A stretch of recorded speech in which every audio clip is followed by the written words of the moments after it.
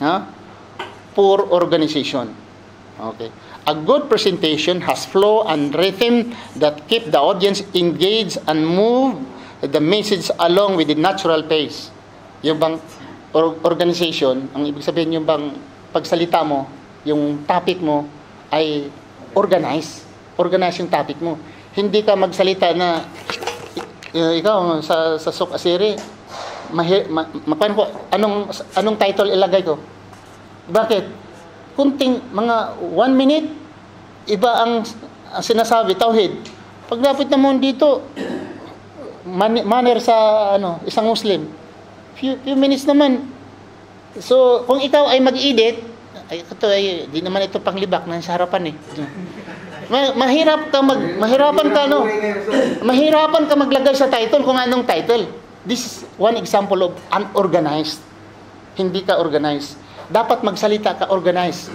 Supposing even 10 minutes, 15 minutes, supposing ang subject mo ay pag-asawa, dapat ha, 10 minutes, pag-asawa lang. Ha? Huwag nang ihalo doon ng tauhid. Ta- Sa gulan po ng tauhid, matakot ka sa Allah. Ano? Hindi. Pag-asawang ano eh.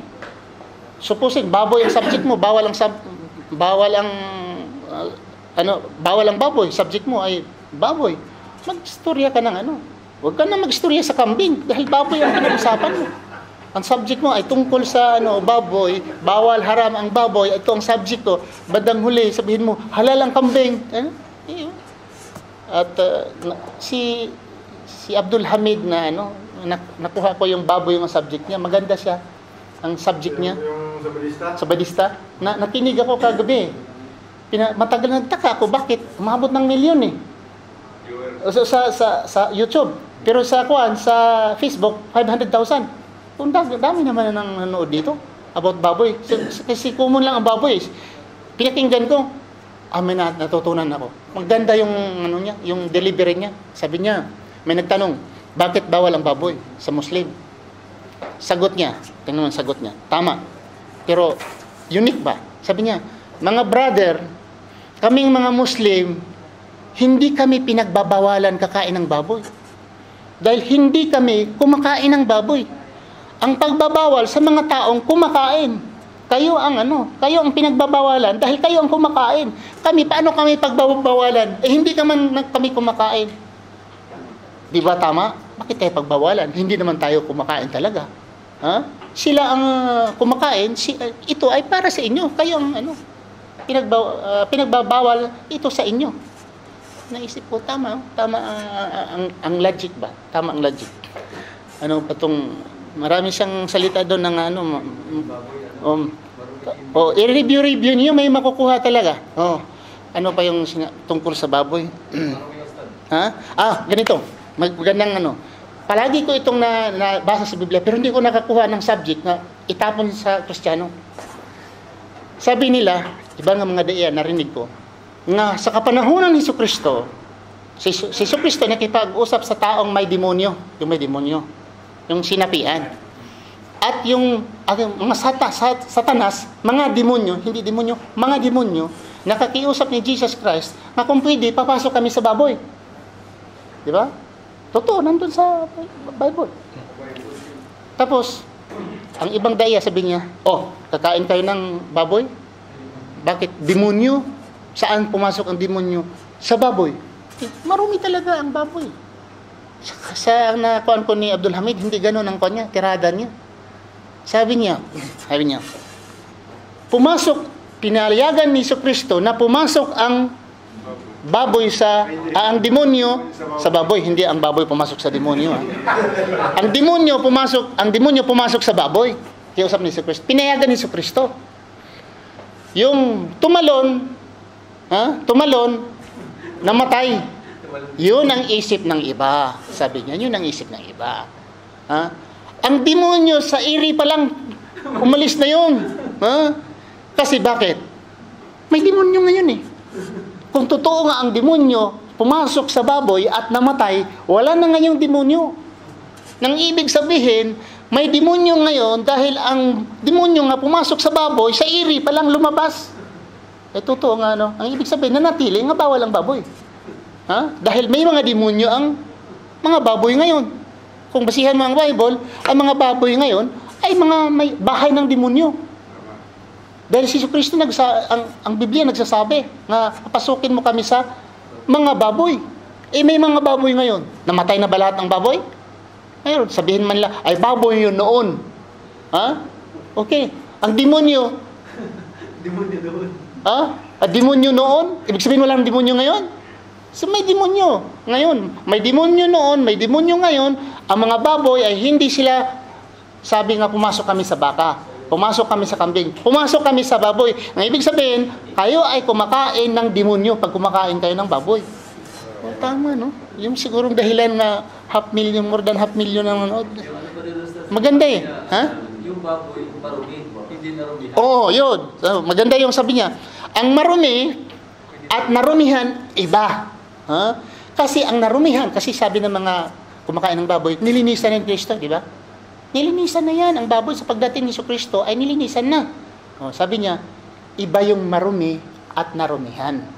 Ang narumihan ay pwede mong linisan. Pero ang marumi, sabi niya, gaya ng ibak, tae. Marumi yan or narumihan ang ibak? Oh, pwede mong hugasan ng ibak pagkatapos prituhin mo at kainin mo dahil malinis na? Eh hindi. Oh. At saka sabi, sabi niya, meron po yung arinula. Oh, maganda yung nagpakulo talaga. Sabi niya, ang baboy ay parang arinula. Ha? Kasi noong kwan ko, yung um, malit pa ko, yung nanay ko, naubusan kami ng ah, yung lalagyan ng pagkain. Naubusan. So, ang natira na lang, yung arinula, kabibili pa lang ng nanay at may cover. So, so ang nangyari, nang, ang nangyari sa nanay ko, nilagyan niya ng pagkain. Ulam. Ulam ang arinula. Sabi niya, nako, ang, lag, ang laman pa man ng sa arinula nilagay ay kulay tae rin. Eh, Siyempre, kung, di ba yung, di ba may yellow na ano, nga ulam? Ano tawag mo? Valenciana? Hindi, yung ano, ka- kare-kare. O ano pa, di ba? Mga kare-kare, di ba? Medyo yellow. Yun siya. Binigay niya sa mga tao. Ay talagang naglitramo. Hindi talaga kumain ng mga bisita. Sina, sabi, sinabi niyang nanay ko nga, may balot pa yan. Galing pa yan sa tindahan, hindi pa yan nagamit. May balot pa nga yan eh. Pero hindi talaga kumain ng mga tao. Ganon din ang baboy.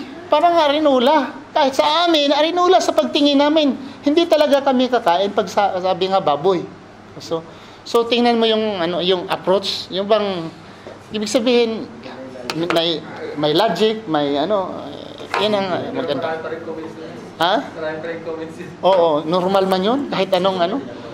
Kahit anong ganda sa nagsalita. Kay Isko nga ang ginagawa. Kay Moreno, ang ganda ang ginagawa. Pero mayroon pa rin na ganun eh.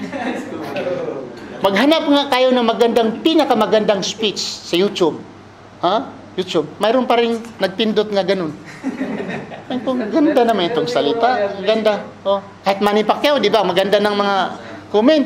Pero mayroon pa rin gumaganon nga. Ano? Oh. So, oh. So talagang uh, ang tao, hindi talaga mo masatisfy ang tao. Kahit anong galing mong magsalita, mayroon talagang gumagano. Sige.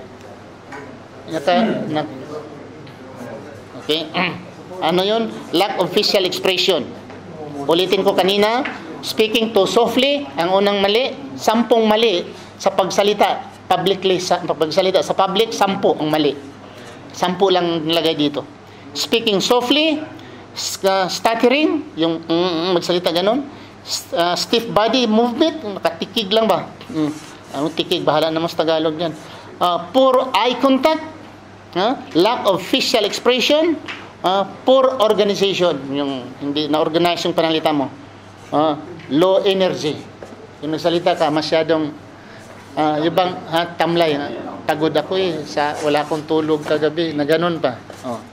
So, isa yan. Ano pa?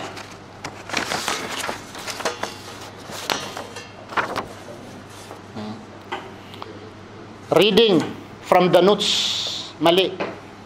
Ah, ang reading yung magbasa ka ng, ng, ng notes, kasi dalawa lang. Pag nagbabasa ka, it's either be di mo mabasa, kung nabasa mo lang, walang timpla. Yung pagsasalita mo, walang timpla. Ang technique, outline lang habang nagsalita ka, mayroong mga malaking outline at alam mo ang ibig sabihin doon. Pero kung talagang linya by linya, magbasa ka ay talagang wala, walang silbi na speech. Okay? Yun ang reading. So, using space inappropriately. uh, uh, Inappropriately. Using space. Yung bang yung, yung space yung yung mag, nagsa, nagsalita ka nga malayo habang nagsalita ka malayo o, o, tapos yung ibang mga ang mga nagkatag ba yung katag anong katag sa Tagalog nagkalat ba nagsalita ka tapos kalat ang ano mga space so paano mo mapokus? Oh, dapat ikaw mo ang mga audience. Okay? So ah, may advice dito may, ad, may ang advice dito sa mga uh, master sa mga public speaking sabi nila visual visual connection maintain eye contact at least to 3 seconds per person 2 or 3 seconds per person. Tingin ka sa kanyang mukha or long enough to complete the full phrase of the sentence. Effective eye communication is the most important non-verbal skill in a speaker's toolbox. Talagang ang ano to? Ang non ang effective eye communication is the most important eye ang talagang mata. Mayroon ngang marami ngang ang ma- ginagamit ang mata.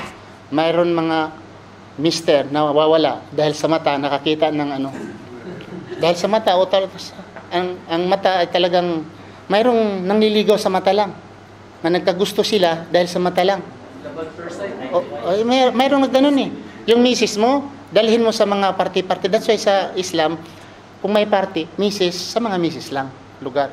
Sa mga mister, mga laki, lalaki lang.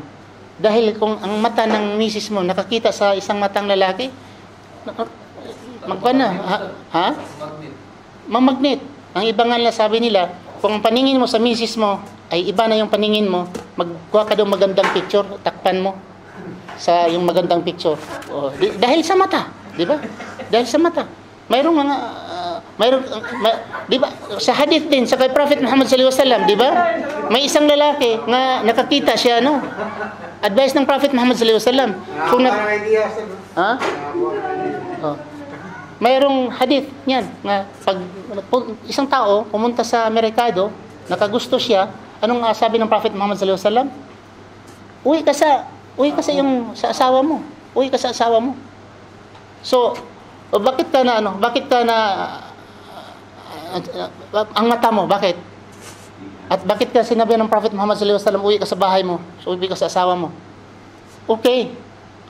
Very okay. Kung ang iniinti ang iniisip mo ay yung talagang mukha ng asawa mo.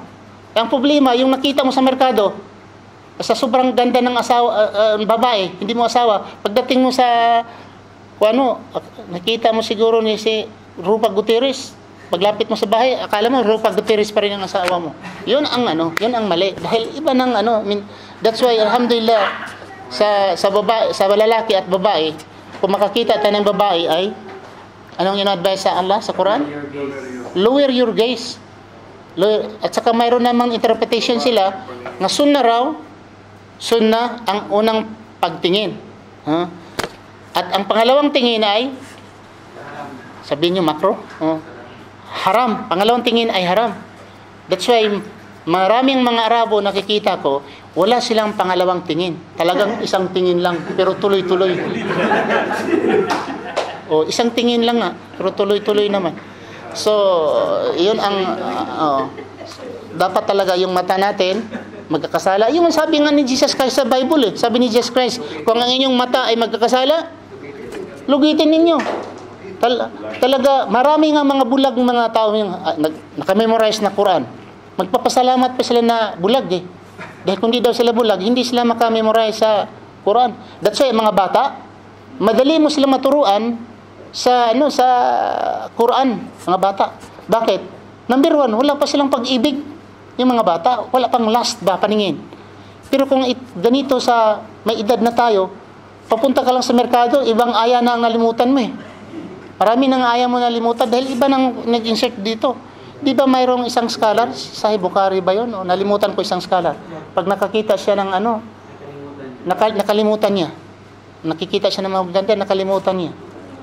At saka mayroong sahaba ng Prophet Muhammad sallallahu alaihi wasallam dahil sa, niya, sa kanyang mata ay nagkasala siya, nagkakuan siya ng na aywan ko kung nabasa niyo. Isang sahaba, talaba 'yon? O talaba tapos na, na pumasok sa bahay na, na, na nasilip niya ang isang babae na walang-wala, naligo. Anong ginawa ng isang lalaki, ang sahaba ng Prophet Muhammad sallallahu alaihi wasallam? Pumunta sa ano, bundok at nagtago, nag-feeling guilty siya at iyak na iyak siya. At tinata, hinanap nila kung si Talaba yun, no? O hinahanap nila kung nasaan na yung lalaki, yung, yung sahaba. Tina, tinanong nila yung mga shepherd, sabi nila, mayroon diyan bata na gutom na gutom, tapos iyak na iyak, binibigyan namin ng ano, binibigyan namin ng gatas at bigla tumakbo at nawala. Tapos pumunta lang sa amin at namili nga ng gatas. Tapos ang ang bandang huli, sinabi sa sahaba, pinuntahan nila at hinuli at dinala ng Prophet Muhammad sallallahu alaihi wasallam. At tinanong bakit anong nangyayari? Nakangatog siya. Tapos payat na. Walang kain-kain, gatas lang. Iyak na iyak pa rin. Ha? Iyak na iyak pa rin. Bakit anong nangyari sa'yo? Sabi niya, Ya Rasulullah. Sinabi niya nangyari. Nga nakakita siya ng ano? Nakakita siya ng babaeng naligo. That moment, sabi niya, Ya Rasulullah, na, may na-feel ako na ano, yung katawan ko, may- mayroon akong na-feel. Sabi ng Rasulullah, ngayon, ma, ano ka, ma, ma- mamatay ka. Yung may sinabi siya sa Rasulullah, ang sagot ng Prophet, ikaw, mamatay ka ngayon. Namatay talaga siya ang ano, yung sahaba. Sa, sa sobrang repent niya, pagsisisi, takot niya sa Islam, sa Allah, at ha, humingi siya ng tawad sa Rasulullah. Hindi naman niya sinadya. Ha? Pero ngayon, ang mga Muslim, pag butasan pa ang banyo. Ha? Butasan pa ang banyo para titingnan. Talagang opposite. Okay? So, yan ang pa natin sa mga sahaba. Ha? Siyam lang ito.